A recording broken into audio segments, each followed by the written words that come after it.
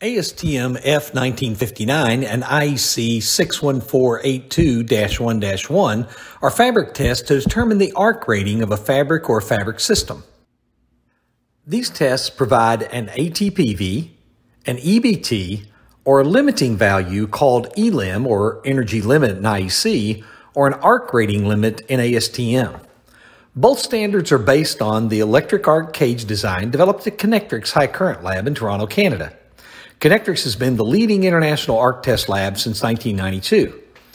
Both standards use vertical electrode assembly, which is stabilized with a modified Faraday cage. The origin of the test was overhead line incidents in which clothing ignited. The ASTM F18 committee researched the incidents with several electric power generation, transmission, and distribution companies and developed tests for ignition probability and PPE protection. Over time, the PPE protection became the focus because when clothing ignites or melts, it often is a main contributor to injury. In these test standards, the vertical electrodes are 305 millimeters or 12 inches apart, allowing for the arc to cover a larger area of the PPE in contrast to IEC 61482-1-2, the box test, which uses a 2.5 centimeter arc, exposing less area to the full energy of the infrared and convection from the arc itself. Three panels are positioned around the arc and spaced 305 millimeters away from the arc. Beside each of these panels are two incident energy calorimeters. These two exposed sensors measure the energy in the arc, which means the specific test configurations are accounted for in each test. It provides more information than an assumption incident energy based on a test setup like the box test. The test begins by placing the fabric on each panel, held in place by springed insulated holders to prevent easy shrinkage, but to allow some shrinkage to simulate real fabric behavior. Then the electrodes are fused with a very thin copper wire to allow initiation of the arc. The power system to power this arc must have a minimum X over R ratio to sustain the arc. This also provides an initial spike in asymmetrical current, simulating a higher current initial arc flash, which can occur on electrical systems.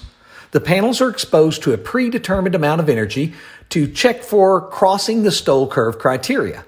The Stoll curve predicts the onset of second degree burn, and most flash fire, firefighters gear, and arc flash gear use the Stoll curve to predict a survivable burn level acceptable in testing.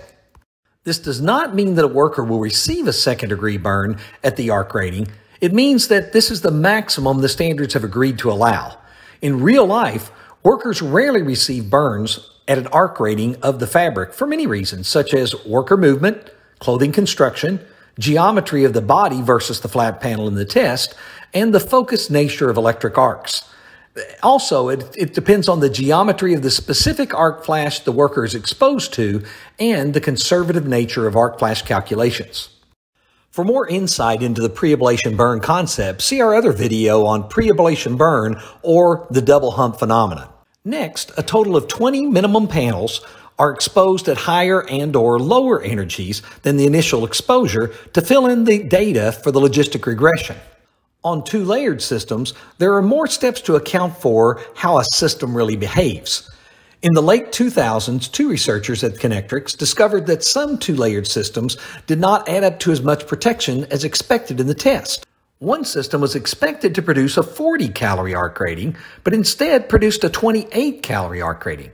The reason over time began to be called the double hump or pre-ablative burn. These systems are typically a heavy layer over a lighter layer. It's common in jacket designs or with a coverall over top of a shirt system. The old theory was that two layers would always provide more protection than either of the single layers. But in some cases, when the first layer is either heavier or less susceptible to ablation, now, ablation is when the outer shell of a fabric breaks open and carries away energy from the layer under it. This is a common means of protection systems uh, provided in arc flash, just like layering paint was once used to carry away plasma energy in early versions of the space shuttle. One of the key terms to understand relating to flame, arc flash, or thermal testing is the Stoll curve. This predictive curve was developed for predicting skin burn to protect astronauts after a serious incident in the space program. The units used in the Stoll research was a calorie per centimeter squared. This was a common international unit at the time, and the size is convenient in the standard explaining a second degree burn. Historically, this is explained that if second degree burn occurs if a common cigarette lighter is exposed to the hand for one second. This would be expected to produce a second degree skin burn, and it would be in the range of about 1.2 calories per centimeter squared for that second.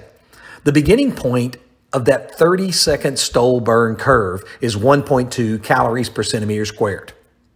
Second degree burns are considered survivable, especially if they're on a limited part of the body, and arc flash burns rarely cover greater than 25% of the body unless clothing is ignited and it spreads the original focused arc flash to areas of the body other than those exposed during the arc exposure. Arc ratings come in four different types. The earliest rating was called ATPV, or Arc Thermal Performance Value. This rating is the 50% probability of the fabric crossing the Stoll curve criteria in the flat panel form.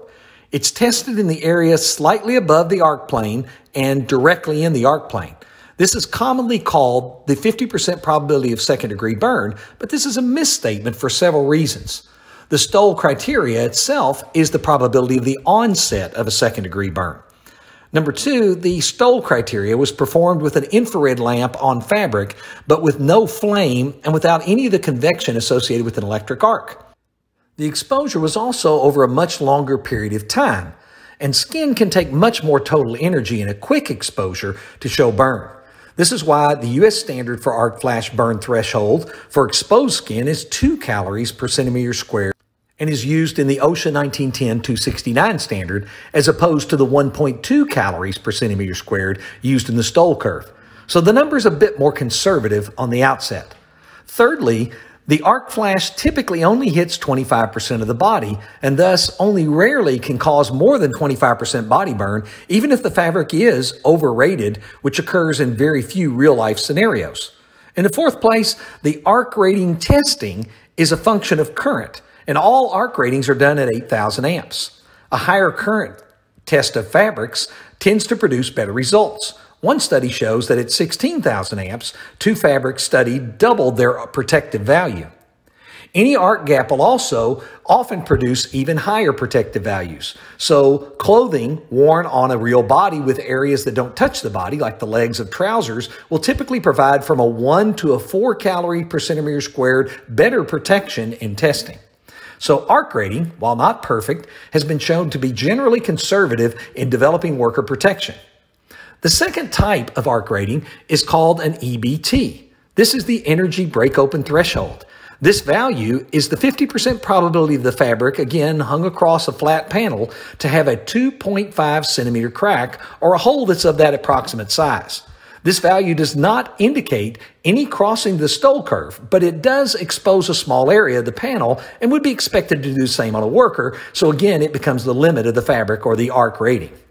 Two other terms, ELIM in IEC 61482-1-1 standard and arc rating limit or AR lim in ASTM F2178 and being proposed for 1959 are limited arc ratings. ELIM is an arc rating chosen by the manufacturer which is conservatively below the ATPV or the EBT. Sometimes it is chosen to be more protective to meet the EU laws on burns, and sometimes it's just more repeatable number for interlab comparisons or allowances for fabric variability. The AR limit is similar, but with even more conservative parameters in some cases. It's used in hood rating testing to limit the top of the test standard setup of 100 calories per centimeter squared. And it's also used to limit hoods that have a fabric rating that is below what the hood can perform at. This prevents needless testing of hood systems, which is also more conservative than the fabrics used in the design. Common videos of tests will use two or three cameras to allow observation of all three test panels and produce the video in an easier format to watch. The video allows the ability to observe the after flame time, which is limited in single layer testing and measured in all testing. Long after flame times can indicate a flammability issue with a fabric, a fiber, or a dye. Or it may be a small flaming due to oxygen or superheating in high level arc flash tests. Garment evaluations are often used as a better predictor of any of the hazardous afterflame, as the test lab can assess if the flames could enter into the worker breathing zone or if they're limited to the surface of a jacket or a hood and would pose no thermal hazard to a worker. ARC ratings matched to IEEE 1584 continue to be a reasonable means to engineer protection for possible exposures for workers when potential exposure cannot be removed, such as in equipment operation, earthing, or testing and troubleshooting.